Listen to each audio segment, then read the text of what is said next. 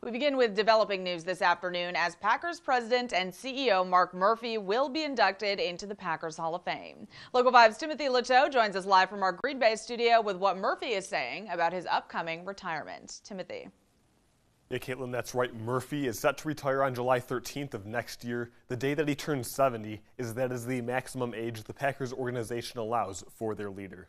Murphy will become the 171st member of the organization to be inducted into the Packers Hall of Fame, which will take place at the end of August.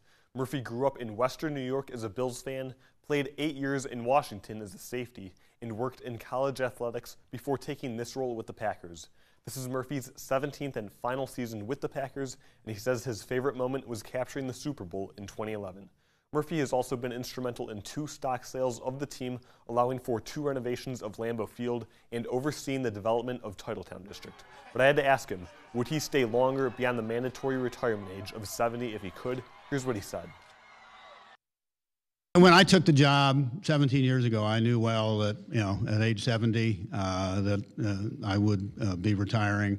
Uh, I didn't realize it would come as fast as it did. it was always way well. That's way down down the road. But no, uh, I think it's uh, you know it's good for the it's good for the organization.